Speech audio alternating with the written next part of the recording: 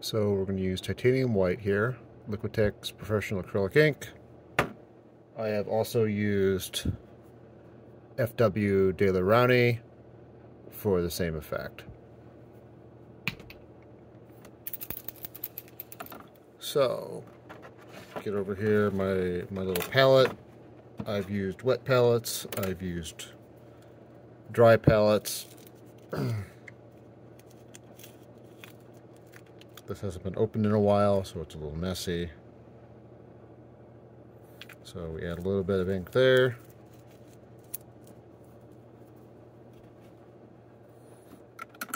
My super dirty water.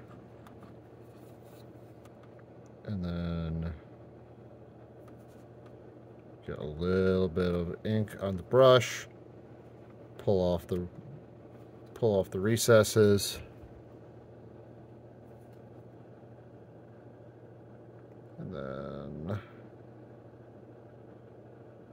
We do what we can. And then we just smudge off the results.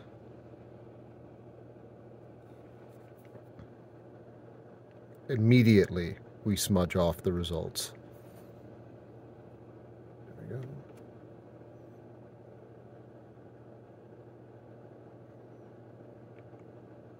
Base paint here is just Vallejo Black Gray.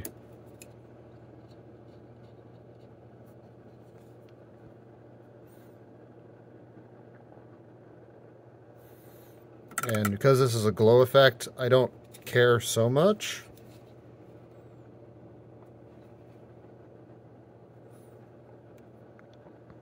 I, I don't care as much about it being super crisp.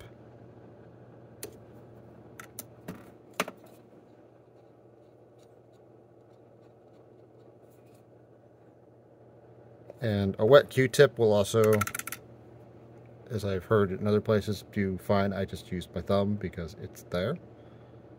And I don't have to worry about my thumb accidentally pulling up um,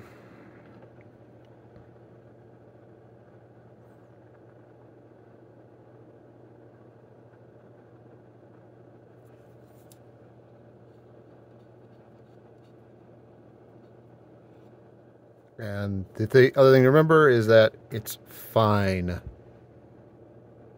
Okay.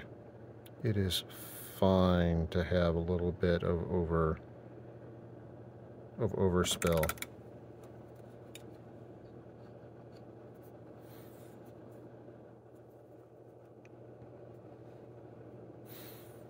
Okay.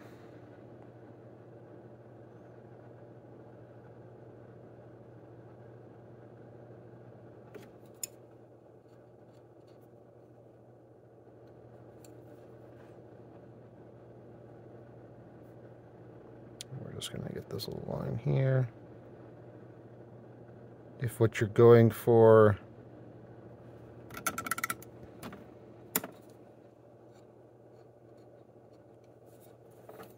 and if you're not happy with some of this in the edges here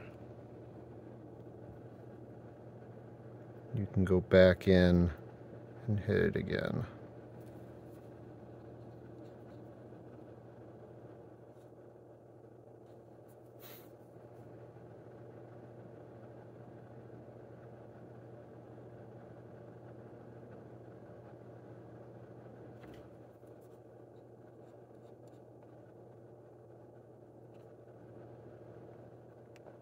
Like these are glowing runes. They're going to be they're going to be spilling light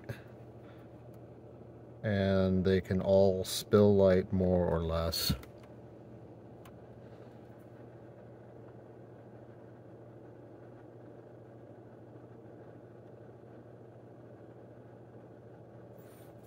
If you thin your ink, you can, with the water or more likely con or contrast medium or just medium medium. So we'll do the other side and we'll thin that. I just have to find some of my medium.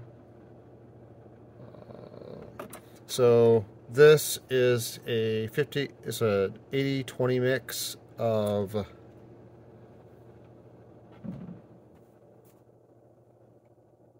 airbrush thinner from Vallejo to airbrush flow improver. So this is 20%. 80% bottle is.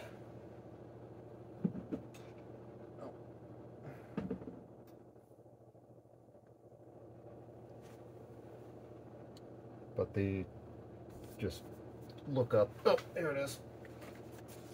Airbrush thinner, 80%, flow improver, 20%. This is just what Vince Vallejo, sorry, Vallejo, Vince Venturella, Vince, Vinci Venturella uses. It's fine. Uh, now,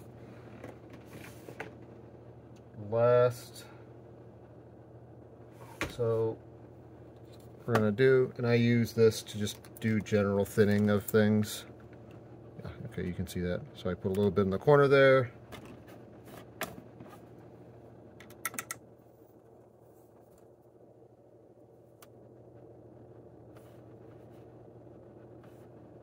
Add ink to water, add ink to thinner or thinner to ink, it's fine. This will reduce the amount of effect greatly. You can use a nail pad or what have you. And the purpose of the thinning is just to reduce the amount of... Okay, good. So that will reduce the effect significantly.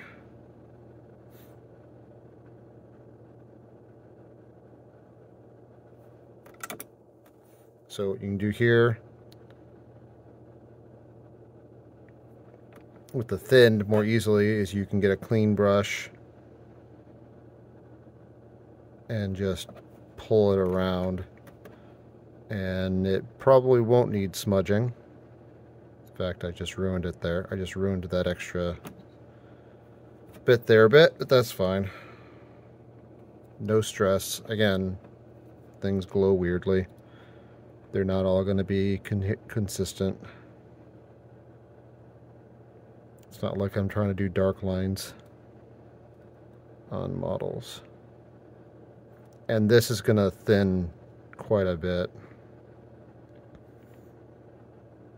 The wet Q-tip is nice here because it's less likely to pull stuff up more than a paintbrush, which can get into the recesses. As you can see, this water is terrible for this. I need to clean that water out. Okay, so these are these are basically done. This is a much more subdued glow effect.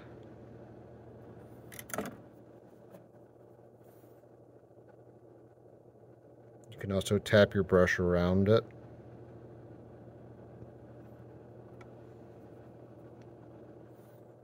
Okay. So now,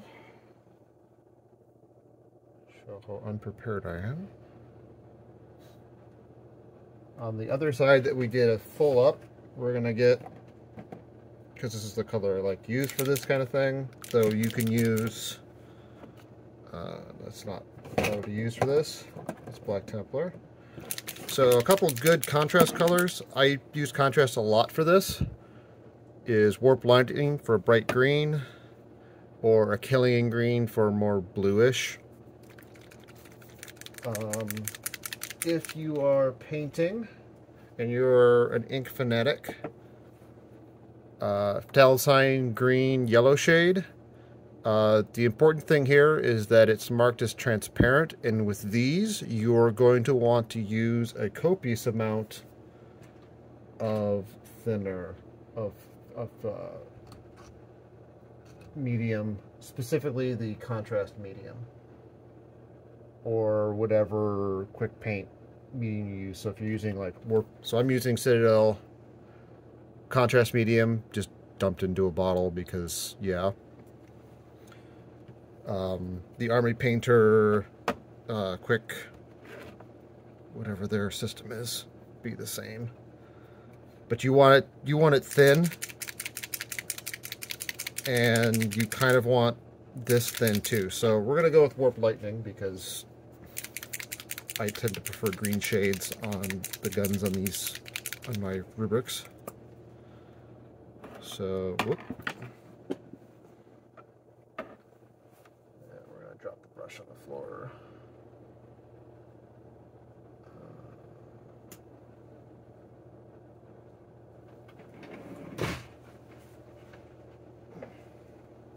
Okay.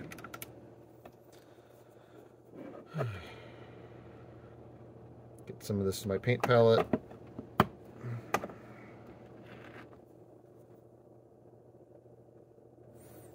And then I'm going to get a touch of contrast medium, put it in a different well. Because I kind of, I'm not using a lot, so I kind of want this to be a 50-50 mix. This is just for control purposes. You could go straight and it would be fine. Alright. Now, let's go to the outside. And we just do this super sloppy like we're taking advantage of the fact that the white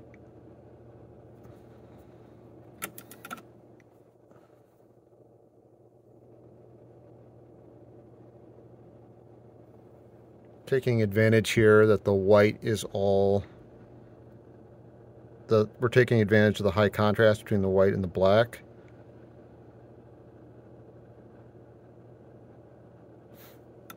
I probably could have thinned that even more.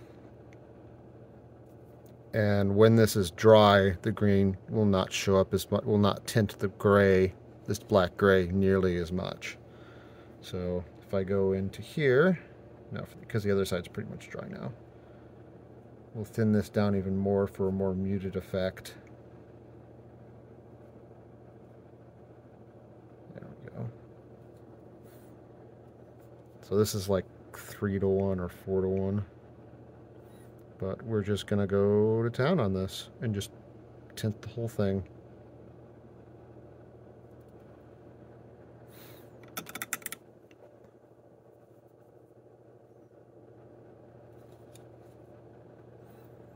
And as that dries, which will take a while, you will see mostly just the lines.